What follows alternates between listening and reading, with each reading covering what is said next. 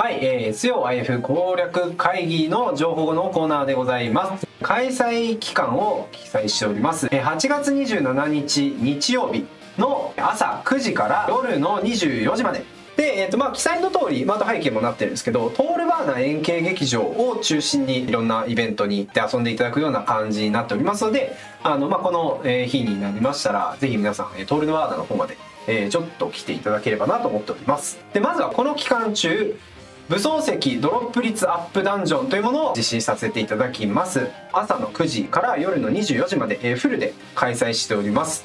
NPC としては、えー、キバオさんが円形劇場に、えー立っておりますので、えーやりたいよという人はキバオさんにお声かけをお願いいたします、うん。スペシャル番組公開ということでこちらが、えーこの27日の12時の、えー時間から公式 YouTube 上で公開されてまいります。はい、安倍さんにね、えーうんうん。書いていただいた、はい。あのゲーム10周年の記念ビジュアルですね、い。まあ、いくつかあるんですけど、えーそれを T シャツにしてお配りしますと、はい。はい、いうものになっておりますので、うん。ぜひゲットしてみてください。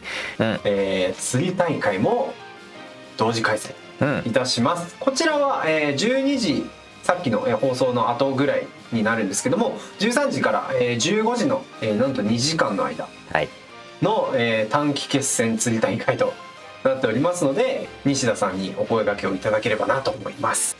はい続いては謎解きクエストでございます、えーアルゴの NPC、えーアルゴにお声掛けいただいて謎解きにチャレンジしていただこうとはい。いうもので、えー最終的には T シャツこちらももらえますと。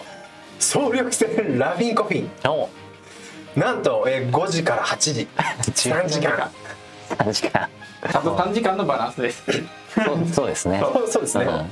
総力戦ってねあの体力多いやつですね。みんなで削るやつ。はい。はい、はい、花火行け。花火行ってこい。納涼花火大会。花火行ってこい。はい。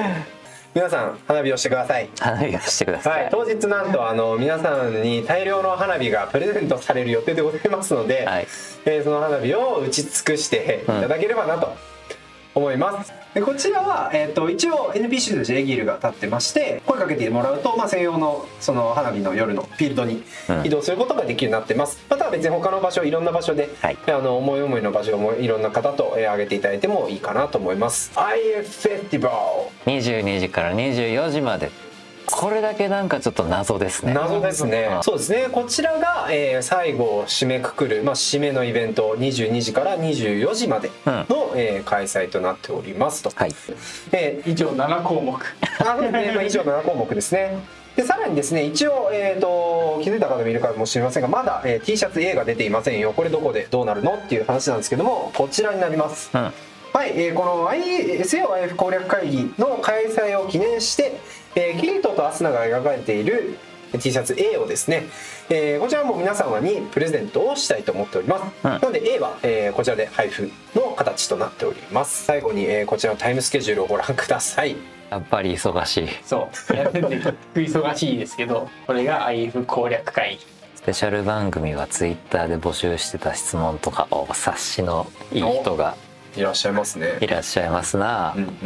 えー当日の12時かな、うんに、えープレミア公開されるはず、えーゲーム攻略会議秋葉原ですね、うん。やってるので、まあ、そこであの気分を高めていただいて、でその後、えー今度はインテグラルファクターのユーザーさんはインテグラルファクターの中でその熱量を引き継いで一日遊んでいただくようなイベントをできないかね、みたいな趣旨でやってますんで、うんうんうん、まあまああの2日間に分けて IF ユーザーは攻略会議を楽しんでほしいなというところでございます。